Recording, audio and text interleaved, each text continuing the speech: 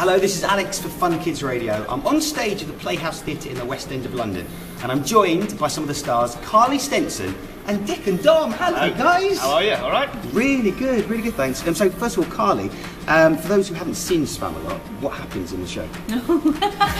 Tell the whole Oh synopsis, gosh. everything, everything. I have the difficult question. Well, basically, King Arthur is on a quest to find the Grail, and um, to put it in brief, it's about the adventures and people and creatures and characters he meets along the way, and just about finding your inner Grail as well, your inner goal. Amazing, but it's very funny as well, yeah? Oh yeah, well obviously it's, it's based on the movie, uh, the Monty Python movie, Monty Python and the Holy Grail, um, um, and it's pretty much the same, isn't it? In in, in most Yeah, it's the, it's the musical of the Monty Python's uh, a historic film, The Holy Grail. And if you don't know what the Holy Grail is, ask your mum and dad; they'll tell you all about it. But basically, I think it works out at about eight laughs per minute for the whole duration of the show. You don't get a chance to stop laughing. That's a good strike rate, I think. Eight Yeah. laughs a minute. Fantastic. So, were you guys fans of Monty Python when you were growing up? And do you have a favourite sketch? Um, I was a big fan of The Life of Brian. I remember my mum and dad at the time um, putting it on for me and me and my sister watching it in her room. So I grew up with that and finding it hilarious. But almost as a kid, I don't know whether you felt the same, like finding it like, oh, it's adult humour, but I find it funny too. So it's like that kind of cheeky naughtiness about it. Python. You did seem really naughty when you're young, but actually, when you watch it back now, it's actually quite suitable. for everyone. Do you have a favourite sketch? It- I suppose it's just more very silly, really, isn't it? Uh, Dom and I were literally our dads brought us up on it. You know, you'd stick a VHS in the machine every Sunday afternoon and watch of the films. Sorry, what that? Sorry, this, this, this, think about your USB stick and enlarge it for about 100 times bigger. That, kids, is a VHS. VHS. Basically, a big, big vi- video cassette tape, and um, and it was the size of your exercise book at school, maybe. And uh, but uh, during the kids' holidays, like we had what I think it was five or six VHS videotapes, and that was your kids' holiday sorted. You know, you'd watch uh, Flying Circus, Life of Brian, Meaning of Life, uh, Holy Grail. Uh, now something completely different. Basically, uh, everything that they did was our childhood for me and Rich. Yeah. Even though we grew up separately from each other, we had, we had the same thing. Our dads just brought us up on Python. But favourite sketches, uh, I always go for the obvious ones. Ministry of Silly Walks, can't beat John Cleese doing a silly walk. Um, parrot sketch, the dead parrot, always makes me howl. Yeah. They're well worth looking on YouTube. Oh yes. Oh, God, So, so did you guys um, manage to get tickets for the Monty Python show? They're coming back after over 30 years. Did you get tickets, and how much would you sell them to people? Oh, no, I wouldn't sell them, but no, we- they sold out like within what 43 seconds or something like that. It sold out ridiculously, but we're, we're trying to get them to I'm sure you could wangle something. You could definitely do But that. just for us three. Yeah, exactly. Yeah, just for us three. Yeah, I, think, probably I think they would go for that. Yeah, of course they will. Of course they will. Um, so Dick, you're playing King Arthur, and Dom, you're playing Patsy. Why have you been cast that way round? And was there ever a consideration of doing it the other way round? Oh yeah, there was a consideration of us both kind of swapping and changing throughout the run, but then we kind of both looked at each other and went, "Oh, I'm a bit taller than you," which kind of made sense that I was the king. But and also we did a bit of a voice test, and my voice, we, I'm not saying either of us could sing, but uh, my voice may be slightly louder, He's less stronger. worse than mine. Yeah, less worse than his. So, so basically, the, the, the, two roles are King Arthur, he's the lead role in the whole, whole production, and he has he's on stage pretty much the whole show, has all the lines, he does all the songs, all the dance routines, uh, and so that's Richie's part. I clap coconuts together and don't say anything. That sounds amazing. That so sounds it's perfect. A lot easier to and we get paid the same. Isn't that something the joys of being in the double act. Are you regretting this now, Dick? No, no, not at all, not at all. But I think mainly it was probably more the height thing than anything, to be honest, though, wasn't it? Uh, For some reason, in the show, King Arthur is, is supposed to be taller and grander and kind of more king-like, whereas Patsy's supposed to be a kind of smaller little sidekick suit. However, weirdly, we did. We've done uh, three series of a, a medieval comedy, Mm. which was narrated by one of the Pythons, called uh, "The Legend of Dick and Dom."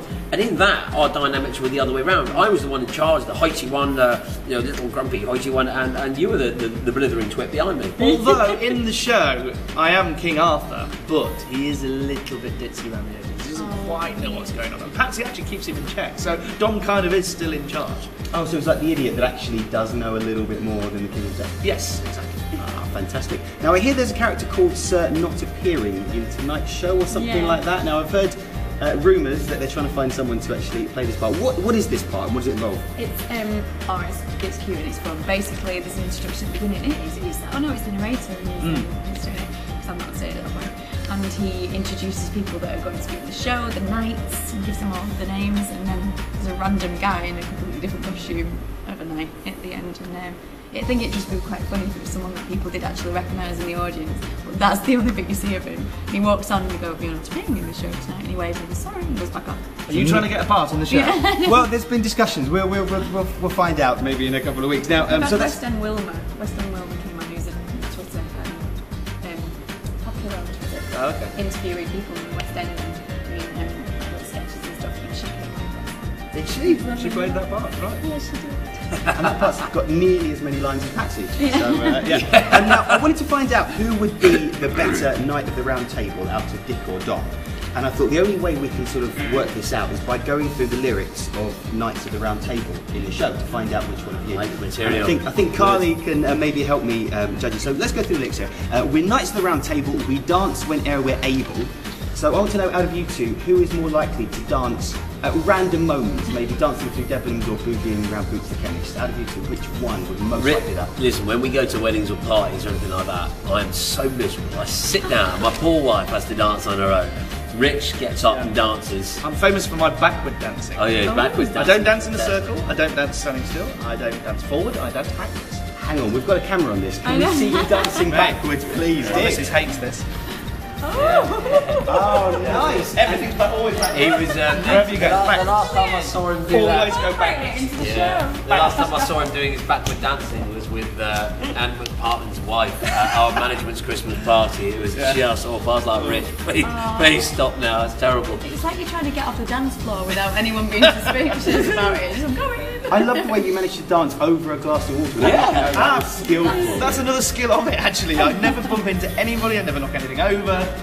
Many, many years of Amazing. practice. Well, that's definitely a point uh, to Dick. So we'll carry on. Uh, we do routines and chorus scenes with footwork impeccable.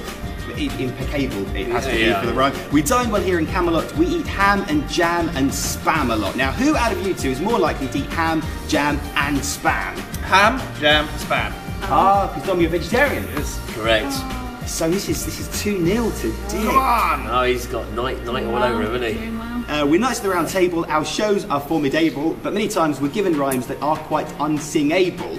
Now, I want to find out who can say "wicked cricket critic" five times the cleanest. So wicked, Am I saying it? I can't remember it. What? Wicked? wicked, Yeah. cricket, Yes. critic. So someone who's a critic of cricket, and they're wicked. You want to say what five times? Five times, and let's see who is cleanest out of those. So You let's start with Dick, Oh. because you're in the lead. Wicked cricket critic, wicked cricket cricket critic, wicked cricket critic, wicked cricket cricket critic. Ah! That wasn't bad. That was quite good. Dom, here's your chance Oh, easy. point. Um, wicked cricket cricket. wicked wicked cricket. Enough. I can't do anymore. Carley, I mean, you have to give a point. Who gets a point for that?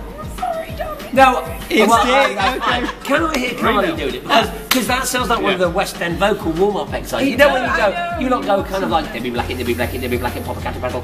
Can you There you give? go. Can you give it a go? What is it? Wicked. Wicked, cricket, Oh, no, you've set me up now. Wicked cricket cricket. Hey, no, no, very no, no. good. That was right, wasn't it? Wicked cricket critic.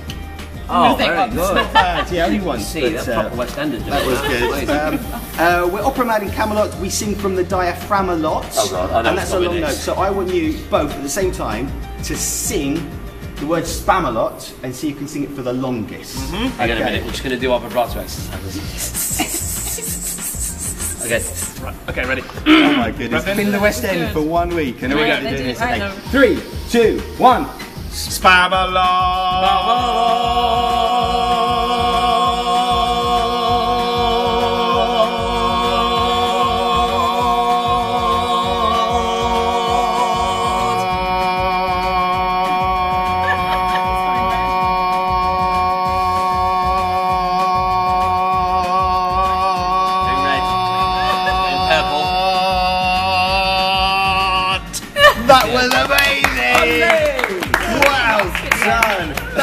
That was awesome. That was Dick. That's another point. I mean, we might go for the clean sweep here. Um, in War, we're tough and able, quite indefatigable, whatever that means. Between our quests, we, we sequin vests and impersonate Clark Gable. Now, no one knows what Clark Gable sounds like, but give your best Clark Gable impression.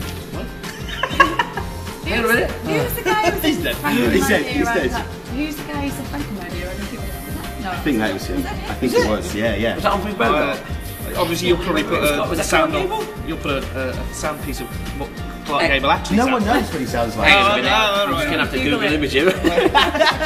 Let's let's count that as, He as was very nine. beautiful though, wasn't he? Uh, Was he? Well, I mean, Apparently very you can say that. Um, and then the last line is, it's a busy life in Camelot, I have to push the pram a lot. So out of you two, who is more likely to push a pram? Him. Me. Ah, so Done a it, consolation done, it, point done it, done it twice now. I don't have to do it again. They've grown out of them. So perfect. So one point, so that's 4-1. So 4-1. well done today. He's more likely to be a knight of the round table. Um, so thank you very much. Just one final thing, what's happening next? So you're doing this all over Christmas, and then Carley, what are you doing in the new year? Anything lined up? Gosh, I don't know. Well, I'm here um, a little bit longer and these guys are visiting going somewhere else, but I am here till at the moment the 8th of February. Um, and then after that, I am just going to my family and see who'll have me. Fantastic. and Dick and Dom, um, I understand um, Absolute Genius Series 2 is coming back. Yes. And then what, is, what can we expect from that? Yeah, in the new year there's Absolute Genius Series 2, looking at uh, even more geniuses throughout the years. Uh, this year we look at uh, Alexander Fleming, who invented penicillin. Going to even more highbrow. What else did we do? We did Carl Benz, Carl Benz, the inventor of the motor car. Uh, We, we got to uh, go to Mercedes World and drive a uh, Mercedes uh, around a racetrack uh, at about 130 miles an hour with a beautiful blonde girl. It was amazing. she was a stunt driver and she was, she was, it was all your dreams come true. Yeah, we do the uh, Wright Brothers too. Dom went in a stunt plane, did a loop de loop in the sky. That's brilliant. Uh, also, Diddy Movies is coming back, which is uh, Which we are Diddy, Dick Dom. absolutely delighted. The BAFTA nominated Diddy movies. Uh, and so, uh, yeah, so we're looking forward to that coming back. It's extra, extra stupid. And we've worked out that Diddy, Dick and Dom, our alter egos, have been on screen now for about 10, 11 years. Pretty much. And uh, so that's, we're looking forward to that coming back. But we've all, we're also doing a bit of a live tour next year of a Dick and Dom show. So. And don't forget the book coming out this year as well. God, so much about next year. And, and, and we still complain to our agent that we're not busy. no, we do. This morning at 9.30. Well, we haven't got enough shows. Yeah. Dick and Dom, Carley Stenson, enjoy Camelot over Christmas. And uh, all the best. Have a great Christmas. Thank you. Oh, can we just say as well, if uh, any families want to come along and see the show, because it is a family show, um, then on the 7th of December, the Saturday matinee will be for families, a big family gala. Great stuff. Thank you very much. Thank you.